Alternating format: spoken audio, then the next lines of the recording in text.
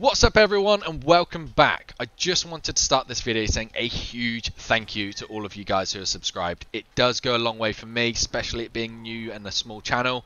Um, and with that, I appreciate your patience as well because it does have a bit of teething that goes on.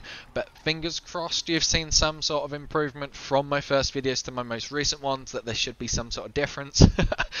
that being said, we have now smashed out Leon's Story. It's been a brilliant game. I have loved the puzzles. The horror aspect, not so much, but it's brilliant. I, I do love Resident Evil. It's been a brilliant game.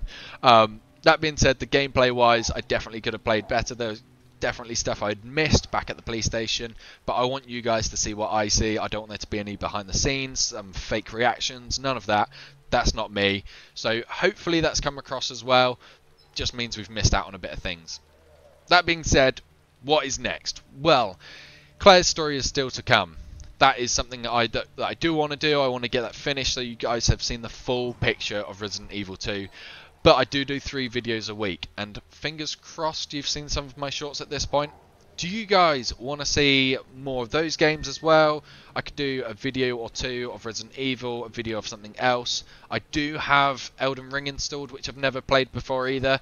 Is that something that would take your your fancy? Let me know. Drop me some comments. Let me get get, get some feedback for me. That'd be brilliant. I want this channel to grow. I'm so excited to see where it goes, and I really appreciate some some support and see what you guys are feeling, what what appeals to you guys, and we'll see where this goes. But thank you so much for that. Before I end this video, I want to say you can also message me on Instagram. There is a link in my channel bio, I think, but I will also include a link in this video as well for you guys to message me directly if you want to message me directly, if you want to give me some other feedback.